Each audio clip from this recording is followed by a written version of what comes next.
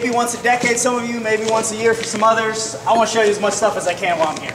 So, going back to this same shot, um, I want you guys to start working finishes now. And so I'm going to slow down a little bit in how I talk about the finishes. But our primary go-to is I honestly have noticed guys will stand still if I can get to this position because they don't know which direction they want to go. Their knees locked out, their scramble has went away, and you can kind of feel like if you fall forward, you're giving up the takedown, and if you sit backwards, you're giving up the takedown. So you kind of stand there to wait and see what the guy's going to do. So I'm here, I punched, I'm on the ankle. I just want to run my butt to the back and keep my hand posted. You guys will have a burning desire in your body to pick your hand up and grab the leg.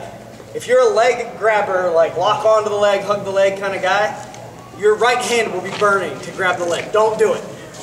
Don't do it. Okay? Stay here, keep your hand posted, okay? And then just start running your butt to the back. You don't even have to stand up yet, just run this way. You see his leg come up?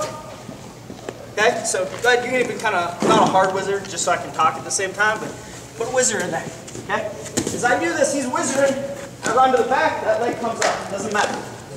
All I gotta do is just circle my feet, his leg's gonna come up.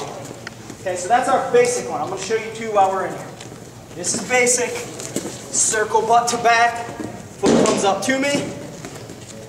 Um, little, I guess, a little less basic, but probably the next most common thing, um, especially if it's already got this kind of hardwired to scramble, is they'll try and sit. So just lock on my leg like I'm telling you not to for right now. Some guys will pass the head and sit, right? You guys ever end up in this position? Probably about every time you wrestle. Okay? If he tries to do that, put your hands in the right place now. Down the ankle. down There you go. Hands are in the right place. If I go to do this, all he has to do is pick my foot up. And I follow my butt and go, wow, this guy's really good. I don't know what he's doing. Yeah. So those are your two options. You can come here, circle back, bring that leg high. That way you can run him down. Or your partner can try and sit on you. Keep your head high. What I actually prefer to do is come right here. If he goes here. I shelf his leg and I attack the head. I feel that confident that I have that takedown. Once I get that leg in the air, once I get here, I know I got this. So I get a little bit greedy. And I reach up and I keep my knee right here.